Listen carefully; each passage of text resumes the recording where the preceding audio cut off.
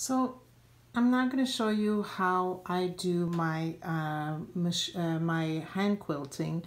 Uh, my piece is on the hoop. You can see that it's not like a very tight. I can still, if I, when I put my hand underneath, I can slightly grab my finger, but not too much. You, you don't want it to be too loose. Um, my thread my thread is uh, on the needle already and I'm going to show you the example with this slip top uh, thimble. And uh, you absolutely need the slip top because when you'll be quilting uh, it's going to be the edge of the thimble that is holding your um, needle. Uh, so basically just to start off I am going to put the needle through go into my batting and move around in the batting and go back up onto the line where I want to start my hand quilting. And then you see I have my knot here and I'm just going to do a, a little pull so that it goes inside. So now it's in my piece. And here I can simply um, go and cut the excess thread not going too close because you don't want to damage your quilt top but you can just go here and then grab that and just pull it inside. Okay, so that's the first step. Now, my system to do the hand quilting, it's the, uh, I guess you could call it the rocking of the needle because uh, I want to be able to put in the needle, uh, do like three or four stitches and, and then pull it out so that I have an even line when I'm hand quilting. So I'm always going to move my move my quilt top so that I'm facing the line. I want to quilt towards me. I'm holding my needle with my thumb and this finger so uh, that I can position the needle where it needs to be. And then I put my finger from my left hand underneath so that I can feel that the needle has gone through and then I transfer to the thimble. So only the thimble holds the needle on top and my finger underneath is also holding the needle so that it doesn't go down. And I'm holding it just against the my fabric down and then bring it back up and your thumb here is going to be holding it. So you want to make sure that you have the length that you want. The length between the needle popping back up needs to be equal to the length you're going to be doing with the needle here. Once you're satisfied with the space in between, you are going to be holding the bottom of your needle with your thumb. Pull it right away back up with your thimble to go back down. So it's only again, the needle uh, is held by your finger underneath and your thimble and you are going to be bringing it back up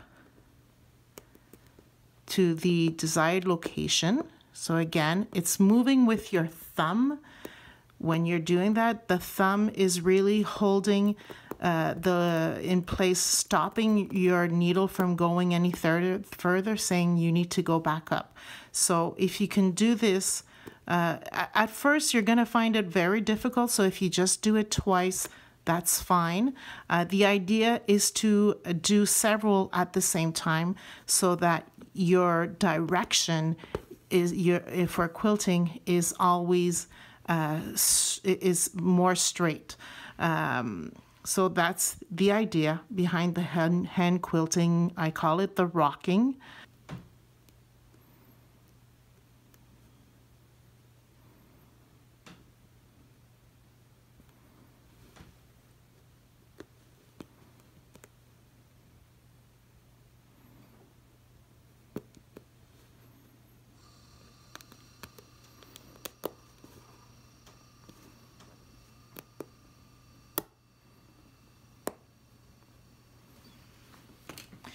Now when it's time to pull the needle back out, you'll notice that it might be just a little bit difficult to grab your needle.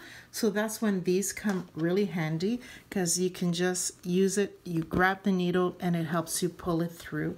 And so your quilting is uh, easier on the fingers.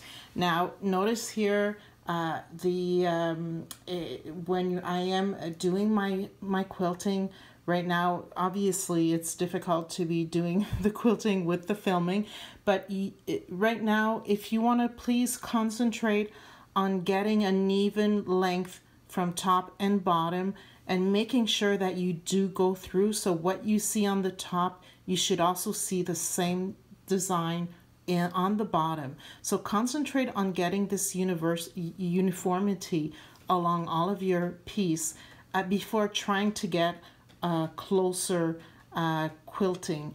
Uh, because what's important at first is to just understand the rocking and, and making steady everywhere to make sure that your quilt will last a very long time.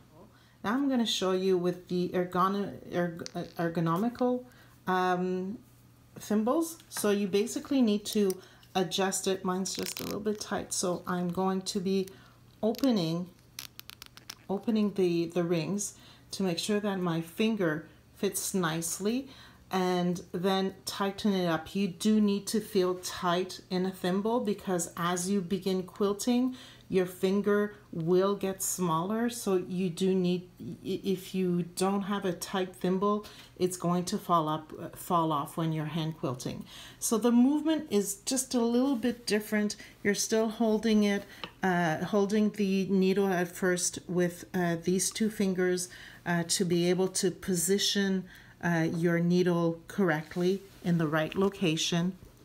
And then instead of holding the thimble with uh, holding your needle uh, upward, you can actually use it on the side. So you don't need to bring your hand up as much and it's easier for you to be able to uh, put your thumb at the front of your quilting because that's the, the key to succeeding is to be able to position that thumb right here to bring it back, bring the needle back up quickly. So if your thumb, if your finger here doesn't need to be positioned vertically as you would have with the slip stop, now it can be positioned on the side. So it's easier to go back up, go back down and position your thumb right away to bring it up. The needle is back up. You position, you look at the space that you need to make sure that it matches with the rest. Now I pulled a little bit too much, so I use my thumb to push it back. And then I can go back upward and downward. And you continue.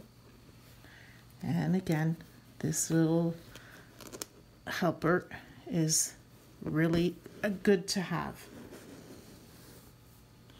and that's how you do your hand quilting.